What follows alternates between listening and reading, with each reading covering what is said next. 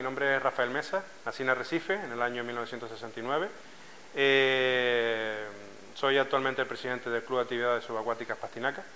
Eh, soy buceador deportivo, eh, Dive Master. Eh, buceo desde el año 1993 y mi afición a, todo lo relacionado con el mar pues me viene, me viene en la sangre, me viene desde, desde muy pequeño. mis inicios en el mar fueron un poco traumáticos con cinco años aprendiendo a nadar estuve a punto de, perder la vida ahogado en la playa de Arrieta, en la garita.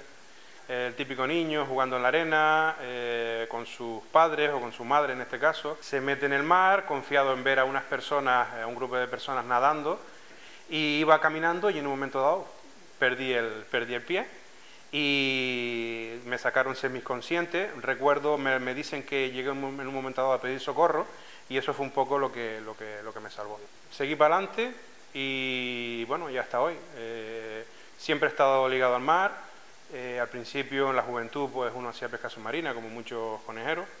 Y bueno, y ya desde hace pues casi 20 años me dedico exclusivamente al buceo. El atractivo del buceo en Lanzarote se basa en tres pilares. Primero, las condiciones del agua, una buena temperatura todo el año, una buena visibilidad y unos colores muy limpios, un azul, un azul muy, muy atractivo. Eh, por otro lado, los fondos volcánicos. Los fondos volcánicos, al igual que Timanfaya, es, eh, es atractivo, te, anestesia. El fondo del mar, pues, pues sigue esa tónica, con gran cantidad de cuevas, bajones, eh, paredes verticales, grietas, jameos. Y por último, la biodiversidad. Lanzarote o Canarias en conjunto es una zona muy rica muy rica en, vida marina y, Lanzarote no iba a ser la excepción. Históricamente los problemas de esta, de esta, de esta isla, pues el, crecimiento industrial que sufrió la ciudad de Recife y el crecimiento turístico tan grande que ha sufrido la isla en estos últimos 30, 40 años y la sobrepesca, digamos, la actividad pesquera ejercida por el hombre tan, tan, eh, a unos niveles tan demasiado elevados para lo que eh, las aguas de Lanzarote pueden, pueden ofrecer. Arrecife era un lugar ideal para, para ver pues, todo tipo de fauna, desde meros, langosta canaria, eh, jureles, sama, bancos de salema, herreras. Aparte de eso, la particularidad de Arrecife es que cuenta con unas lagunas o zonas de aguas someras poco profundas eh, que sirven de guardería a infinidad de especies para pasar sus primeros eh, meses o sus primeras etapas de vida. Ahí se protegen de los depredadores y están en aguas confinadas mm, con una temperatura y con unas condiciones que les sirve de protección. Eh, todo esto con el desarrollo de, la ciudad pues se ha visto muy afectado. Hoy en día estamos luchando por, concienciar y por recuperar un poco el, esplendor del, del, pasado y bueno, eh, seguimos, seguimos ilusionados en que, en que algo podremos, podremos conseguir. El Club de Actividades Subacuáticas Pastinaca mm, nace en 1993. Eh, hay un grupo de, buceadores con, con, unos ideales y con una forma de ver el buceo pues que coinciden y deciden, en aquella época, estamos hablando de hace casi 20 años, pues mm, bucear en Lanzarote era mucho más complicado eh, la, oferta de material no es ni por asomo lo que es hoy, el cargar aire era muy, muy complicado. Entonces, pues se decide formar el club en, Arrecife y comprar un primer compresor y empezar a, operar, empezar a, trabajar.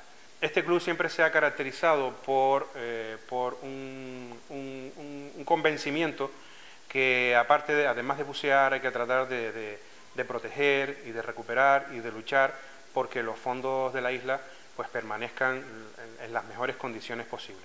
En Arrecife el principal problema eh, ha sido el deterioro de, todo su entorno submarino por, la ciudad en sí. Y después el, otro gran problema que tiene es que aquí las plagas de erizodiadema, eh, lo que se llaman los blanquizales, que es el blanquizal es un tipo de fondo eh, que, se que se produce cuando hay una alta densidad de erizo diadema antillarum. Este erizo es un herbívoro y es muy voraz. come muchísimo. Cuando la densidad de, erizos eh, supera los 1 o 2 erizos por metro cuadrado, pues hablamos ya de un desequilibrio. Y durante un tiempo prolongado, esta cantidad tan grande de erizos produce una eliminación casi total de las algas y aparecen los, denominados blanquizales. Hay que entender que eh, el ecosistema submarino es, es una maquinaria, es un engranaje. Entonces, mm, unos peces dependen de otros, otros peces a su vez dependen de otros, y unos peces dependen de alimentos como son las algas, como son eh, invertebrados, y claro, eh, el erizo es tan, es tan severo en su alimentación que, que, rompe en muchos aspectos, rompe esta cadena.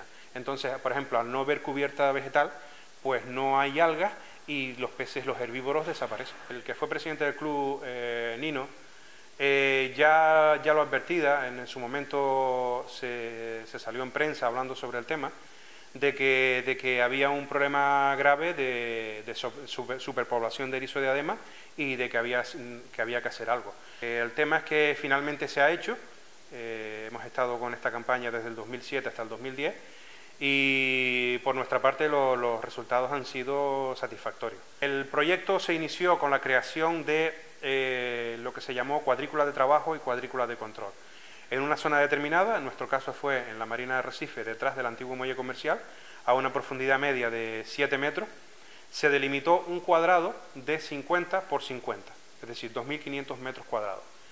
Paralelo a esa cuadrícula, se delimitó una segunda cuadrícula.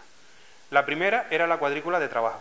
En esa cuadrícula, eh, los voluntarios del Pastinaca, durante varias inmersiones, comenzamos a eliminar el erizo. 2.500 metros cuadrados se eliminaron 25.000 erizos. Estamos hablando de una media de 10 erizos por metro cuadrado.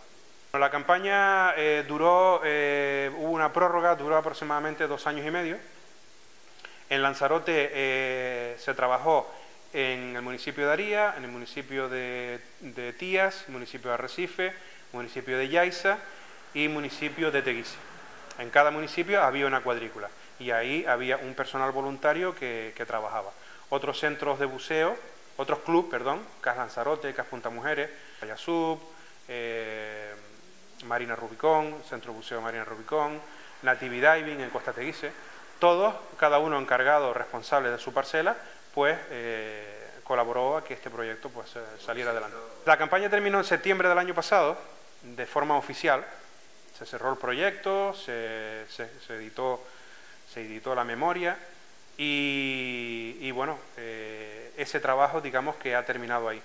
Nosotros no, para nosotros no ha terminado, nosotros vamos a continuar luchando, vamos a continuar conservando esa cuadrícula, porque es un poco de perder el tiempo en que tú trabajes durante un periodo de tiempo en una zona para después decir, bueno, ah, esto ya está terminado, hasta luego recojo mis cosas y me voy. En principio del proyecto pues habían voces voces críticas que hablaban de que, de que, bueno, de que era perder el tiempo, de que se estaban aprovechando de nosotros, que una vez que terminara la campaña y dejáramos de bucear en la zona, el erizo iba a volver a, acampar a sus anchas.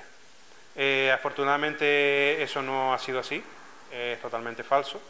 Y, bueno, los efectos son casi inmediatos. Y en cuestión de tres meses ya aparecían, aparecían los primeros brotes, las primeras algas, las piedras comenzaron a cambiar de color y ahora, dos años y medio después, tenemos un, beril pues totalmente cubierto de algas, donde sigue existiendo el erizo de diadema, porque hay que hacer, dejar muy bien claro que el erizo de diadema no es un invasor, el erizo de diadema está en Canarias antes que nosotros, y, que por tanto tiene que seguir porque juega un papel en el ecosistema, el volver al blanquizal, es decir, el volver a las, a las poblaciones eh, incontroladas, pues no se está produciendo. Ahora mismo seguimos buceando, pero no con la intensidad que buceábamos antes. Y el, el beril sigue, sigue esplendoroso, sigue rico eh, y sigue en muy buenas condiciones. Este club siempre se ha caracterizado por, su, por estar involucrado en todo lo que concierne a la conservación y a la ecología de nuestros fondos. Comenzamos el proyecto casi 60 buceadores en el agua a la vez, lo cual te, puede, te puedes hacer una idea de la magnitud de la fuerza del voluntariado del Pastinaca. Eh, este voluntariado ha continuado, en, momentos pues han habido más voluntarios, en otras menos, pero siempre, nunca se ha dejado de hacer por falta de, por falta de voluntarios. La satisfacción, pues a nivel de club, pues enorme, enorme porque eh, los resultados están ahí, el trabajo que se ha hecho pues es sencillamente espectacular y hoy en día, pues en estos momentos, Arrecife se puede vender como un destino más de buceo dentro de la isla de Lanzarote. Ya tenemos una inmersión donde llevar a, buceadores y poder disfrutar de una hora de inmersión en unas aguas en muy buenas condiciones.